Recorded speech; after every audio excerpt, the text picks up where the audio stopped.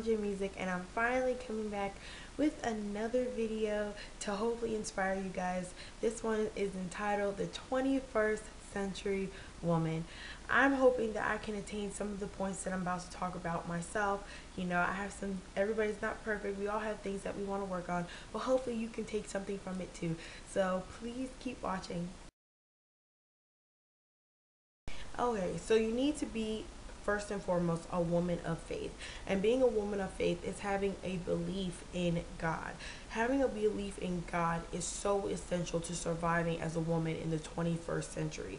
Um, first, being a woman of faith, it plays on knowing who you are as a human being, knowing your actual purpose in life and also having confidence. You know, if you know that the word is true and you know that God is real, then you can have confidence in that. You can have confidence in whatever He's telling you to do and whatever you need to do in life. So, you know, being able to find out your purpose, being able to find out who you are, and also being able to have confidence is very, very important as a woman of faith. And also being able to be strong being a woman of faith, as your faith grows, it builds strength in you. So even when things are falling apart, even when things are going crazy, you can be able to sail through, and people will be like, "Whoa, you know, what are you doing? How how do you have all that strength?" And it comes from your faith. So being a woman of faith is extremely important when it comes to your purpose, when it comes to your confidence, when it comes to finding out who you are,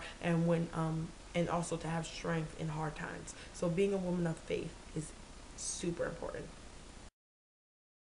A woman of integrity, um, as a woman of integrity, you got to cut out the drama.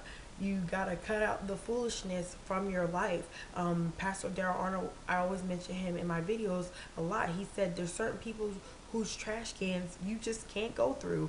You know, you gotta um, pick and choose so you can have integrity, so you can cut out the foolishness, cut out the drama, cause you want people to be able to take you seriously, right? And um, and whatever you do. And also you want to be able to be um, trustworthy. You want god to be able to trust you um, and you want people to be able to trust you as well. So as a woman of integrity you got to cut out that foolishness. You got to cut out that drama so you can be trustworthy so you can walk in um, in your purpose and you can walk in whatever god has for you to do in life.